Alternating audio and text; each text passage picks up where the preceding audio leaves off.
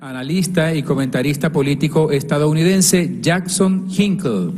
First of all, I just want to say uh, congratulations, Mr. President, on your reelection. I think I'm probably the first American to say congratulations to you. Hay muchos más, estoy seguro que hay millones de estadounidenses que quieren paz en el continente y que quieren paz en Venezuela. I guess the first one to say it in person then. But yes, there are millions who support you and want peace. Uh, my question for you lies in what I witnessed over the last week. I saw that all of the things that my government and media have ever said about Venezuela proved to be lies. The streets are very clean here. They're much cleaner and safer than most major cities in America. The grocery stores are well stocked, which is another lie that they told us. And uh, the economic situation is getting better and better, as I can see on the ground walking throughout cities and neighborhoods. So, my question is what do you think is in the interest of people like Elon Musk who are continuing to sell these insane lies about you, your country, and your people? And in addition to that, a second question. I heard you recently say that uh, you thought if President Trump and you had the opportunity to meet, you could have been friends. Now, obviously, he was uh, misled by many false advisors. Do you think that in a potential future Trump administration, uh, there would be room to be friends once in the future?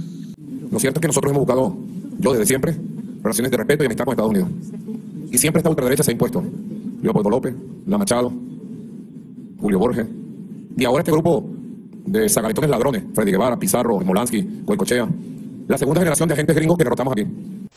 Elon Musk forma parte de la nueva generación de multimillonarios vinculados a la alta tecnología.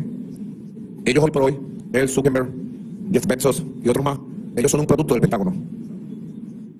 Toda la tecnología desarrollada en el Pentágono se la entregaron a ellos para que desarrollaran redes sociales, satélites, comunicaciones, internet y fueran la cara del imperio estadounidense desde la empresa privada. Pero ellos tienen una posición de mando en Estados Unidos y quieren tener una posición de mando y dominio en el mundo. Entonces, ¿por qué Elon Musk dirige el golpe de Estado contra Evo Morales?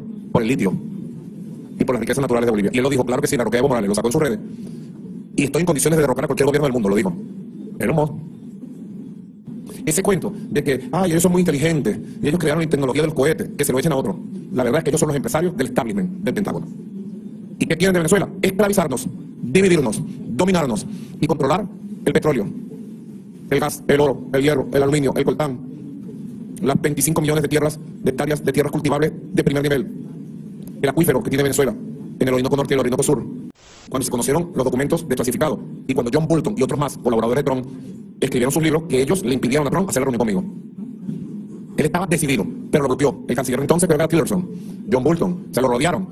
Pompeo, ya era Mike Pompeo, lo rodearon y le impidieron la reunión. Y él tenía mil reuniones y bueno, se le impidieron. Habrá que ver la versión de él en su momento.